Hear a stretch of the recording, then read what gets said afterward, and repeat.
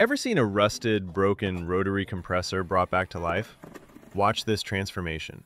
Because what starts as scrap metal ends up running like brand new. This old compressor has seen years of dust, corrosion, and damage. Most people would throw it away, but not here. This workshop specializes in restoring machines and giving industrial tools a second life.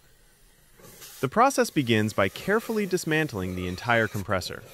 Bolts, valves, pipes, every part is removed one by one. Inside, you can see heavy rust buildup, clogged oil pathways, and worn out seals. This inspection tells the real story of what the machine has been through. Next, the parts move into the cleaning stage.